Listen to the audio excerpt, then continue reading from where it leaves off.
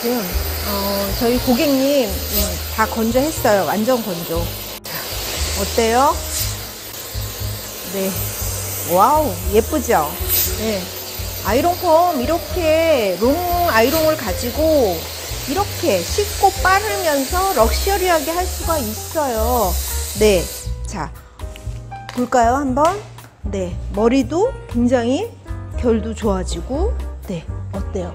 예쁘죠? 그러니까 자, 우리가 볼륨을 주고 싶은 부분만 확실하게 주고, 나머지는 다운으로 이렇게 하시면, 예, 멋있습니다. 네, 원장님들도 한번 long 아이롱을 가지고 한번 이렇게 쉽고 빠르게 한번 해보세요. 제가 지금 어, 커트 디자인 하고요.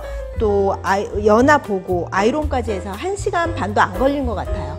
자, 원장님들도 또 한번 도전해 보십시오. 반갑습니다. 열펑킴 머만들입니다. 자, 오늘 우리 고객님은요. 두상이 굉장히 작으세요. 그리고 어, 여기에 볼륨을 주고 싶어 하세요. 그래서 저는 오늘 아이롱 펌을 권해서 오늘 하는데 어, 연화는 제가 P1으로 봤습니다. P1으로 봤고요.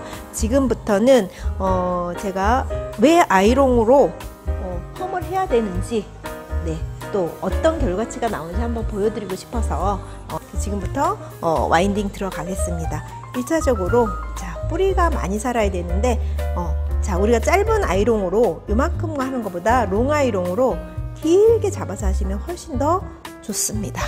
자 보시면 자 13mm예요. 얼마나 빨리 끝나는지 한번 보세요. 13mm로 이렇게 뿌리를 살리시고요. 바로 16mm 16mm로 뿌리를 한번 살리세요. 네. 자, 그냥 속성으로 바로바로 들어가겠습니다. 자, 수분 조절하시고요. 16mm로 와인딩 하시는 거예요. 자, 자, 끝이 다 들어갔습니다. 하나, 둘, 셋, 넷, 다섯. 됐죠? 네. 자, 해서 네, 한 판을 끝냈어요. 자, 두 번째 또 하겠습니다. 길게 잡으시고요. 네, 13mm로 뿌리를 한번 살려주세요. 이 부분이 많이 살아야 되니까 13mm로 뿌리 한번 살려주시고요. 바로 16mm, 16mm로 와인딩 들어가겠습니다. 수분 조절하시고요. 자, 올라오죠? 네. 자, 끝이 다 들어갔습니다. 하나, 둘, 셋, 넷, 다섯. 됐어요. 자, 두 번째 또 끝났습니다. 세 번째 또 슬라이스 뜨겠습니다. 네, 세 번째. 자, 보시면 길게 뜨세요. 그냥 이렇게 두상에 따라서 길게. 네. 자, 아이롱은요, 이 우리 고객님처럼 이렇게 목은 가까이 채끝 끝에서부터 아이롱을 저희가 뿌리를 살리면서 할 수가 있어요. 일반 펌은 이게 표현이 안 되는데 저희는 또 표현이 돼요. 자 이번에는 제가 13mm로 원래 와이, 어, 와인딩을 안 하는데 13mm로 한번 또 와인딩 해볼게요. 네.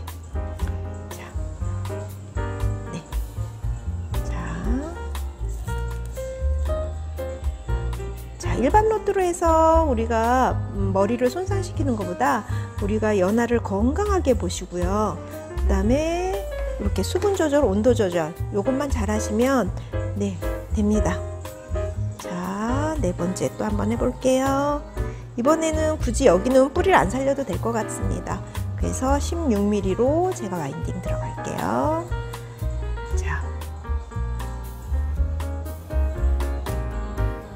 우리는 이렇게 피카는요, 이게 아이롱이 길잖아요. 왜 길게 만들었냐고 그러시는데요. 만약에 원장님들이 이거를 짧은 아이롱으로 가지고 하신다 그러면 이게 다섯 파팅으로 나눠야 돼요. 그죠? 근데 저희는 세 파팅으로 나눠서 그냥 하는 거예요. 네. 자, 그 다음 또 다섯 번째. 자, 이번부터는 어떻게 해요? 그냥 아이롱 들어가시면 되겠습니다. 자, 16mm로 그냥 와인딩 들어갈게요.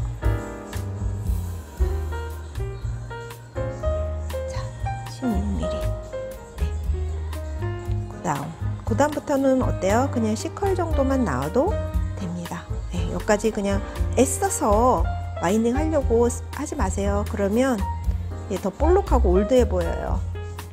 자 벌써 back part는 다 했어요. 그러면 하나 둘 셋 넷 다섯 여섯 개로요. 자 앞으로 front 쪽으로 가겠습니다. 네, 자 이번엔 front 쪽입니다. 이렇게 잡으시고요. 음. 13mm로 먼저 네. 네. 자, 우리 아이롱 하는 이유가 뭘까요? 네. 우리 중년부인들은요, 뿌리가 여기가 많이 살아야 돼요.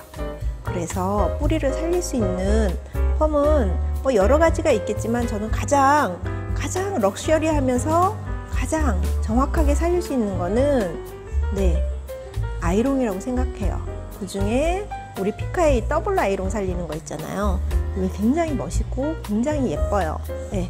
그래서 한 번만 한 번만 아이롱 펌 하시면 계속해서 아이롱을 하게 되어 있습니다. 두 번째 판넬 넘어가겠습니다. 네, front의 두 번째 판넬. 네.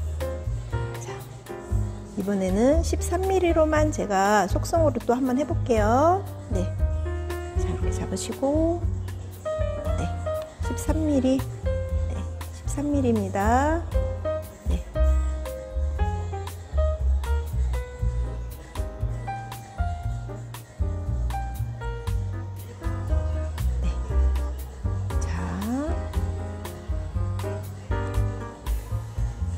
13mm 하나 또 와인딩 끝났어요. 자, 두 번째 했고요. 세 번째. 얼마나 아이롱이 길어서, 길어서 얼마큼 빨리 하나 보고 싶잖아요. 저처럼 이렇게 해보세요, 한번. 네. 자, 13mm로 하고 16mm 뿌리 살리겠습니다. 16mm 살리신 다음에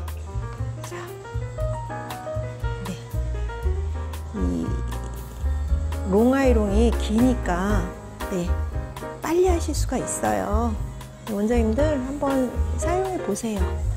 네, 자, 세 번째 했어요. 이제 또 네 번째 들어가겠습니다. 빠르죠? 자, 네. 13mm로 뿌리 한번 살려주시고요.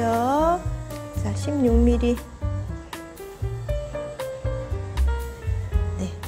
길게 수분 조절 하시고요. 바로 들어갑니다. 네, 속성 아이롱입니다. 네, 네. 자, 16mm예요. 자, 이렇게 뺄게요. 자, 그 다음에 앞머리. 앞머리는 그렇게 더블로 많이 안 살려도 돼서 제가 13mm로 자 한번 이렇게 하시고요. 그 다음에 바로 16mm로 바로 이 부분은 좀 자연스러워야 되겠죠? 네. 자 이렇게 해서 어머나 벌써 다 끝났어요. 자 우측으로 넘어가겠습니다. 네 우측 파트입니다. 우측 파트 자 그냥 슬라이스 길게 뜨시는데 수분 조리에서 저는 폴리를 분사를 해요. 이렇게. 네. 수분 조절하시고요. 길게 뜨세요. 굉장히 편하겠죠. 자, 여기서부터는 어때요? 굳이 여기만 뿌리만 살면 되지 옆에까지 하면 옆장구가 되겠죠. 그래서 이 부분은 제가 그냥 와인딩 들어갈게요. 자, 이번엔 한 번, 하나 정도는 제가 13mm로 와인딩 들어가겠습니다. 네. 그러니까 디자인은 원장님들 몇 미리 몇 미리가 아니라 어, 원장님들이 생각하셨을 때 어, 나는 여기다 뭐 16mm로 할 거야, 뭐 10, 뭐 10, 13mm로 할 거야. 그럼 원장님들이 정하세요. 네. 자, 얼마나 편하고 좋은지. 예. 롱아이롱이요. 왜 만들어졌냐 그러는데 사용해 보세요. 알아요. 왜 만들어졌는지. 자, 우측입니다. 길죠? 네, 굉장히 길게 해서 제가 winding 들어가고 있어요.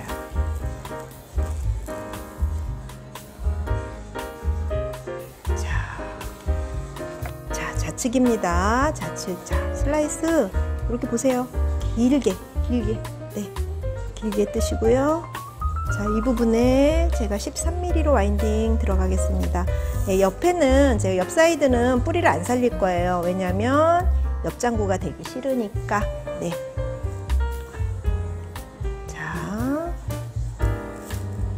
얼마나 빨라요. 그죠? 아이롱이 기니까 그냥 너무너무 쉽고 빠르고 연화도 빠르겠다.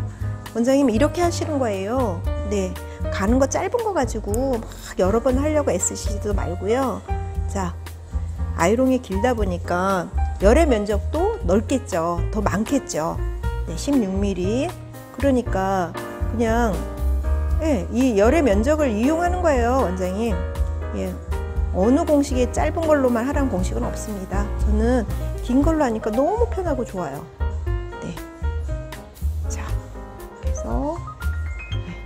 그래야 고객님도 고객님도 편해요. 어. 옛날에는 제가 아이롱 하면 자 이야기 여행 다녀왔습니다. 근데 지금 이야기 여행 다녀올 시간이 없어요. 네, 다 해버렸으니까요. 설명하다 보면 벌써 어머 그거 다 와인딩이 끝나는 거예요. 음. 자 얼마나 간단해요. 네, 저 와인딩 다 끝났어요. 자, 이렇게 끝났어요. 네, 중화 후에 제가 단백질 샴푸로 샴푸하고요.